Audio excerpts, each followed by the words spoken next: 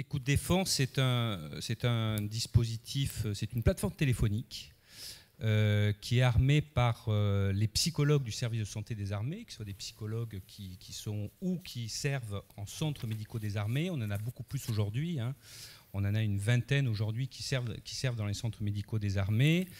Euh, c'est quelque chose d'assez récent qui date de 2013 aussi. 2012-2013, on a commencé à, avoir des, psychologues comme ça, et puis des psychologues aussi hospitaliers. Donc ce dispositif téléphonique, 24 heures sur 24, 7 jours sur 7, permet aux militaires, aux anciens militaires, aux civils euh, du ministère des Armées et à leurs familles de pouvoir avoir un contact avec, euh, avec un psychologue. Alors on verra s'il est suffisamment connu un peu plus tard, mais en tout cas, euh, aujourd'hui, vous disposez de quelques chiffres qui euh, nous permettent de mesurer finalement la fréquentation de ce site et donc le nombre de SPT, en tout cas ceux qui sont recensés à travers ce site. Oui, alors ce n'est pas que pour le SPT. Au début, ça a été créé pour mmh. le, syndrome de stress post-traumatique, hein, au tout début, et puis on l'a petit à petit élargi. On l'a élargi aux situations aussi en lien avec la cellule de harcèlement, discrimination et violence de nature sexuelle également.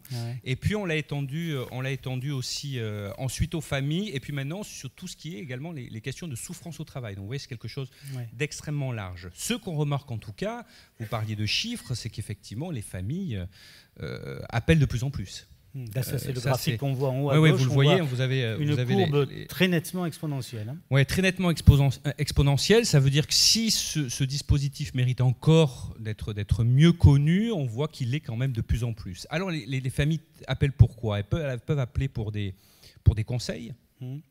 Euh, bien sûr, euh, c'est vrai que parfois, c'est ce que disait, euh, ce que disait le colonel Chauvet tout à l'heure on a parfois des familles qui nous appellent et nous disent voilà, mon, conjoint militaire ne va pas bien.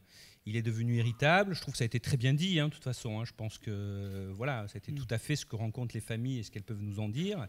Il est irritable, il se met facilement, facilement en colère, euh, euh, il peut ne plus supporter les enfants. Ce qui pouvait lui faire plaisir jusque-là, tout d'un coup, ça ne lui fait plus plaisir. Enfin, on voit que, en gros, pour le dire euh, un peu simplement, il a changé.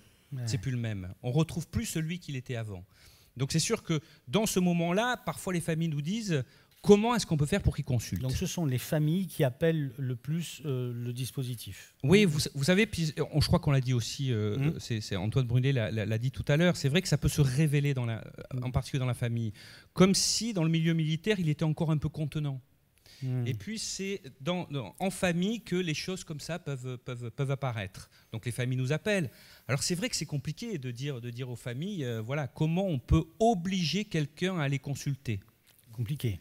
Pour les consulter, il faut qu'il soit prêt. Hmm. On l'a dit aussi tout à l'heure, je crois.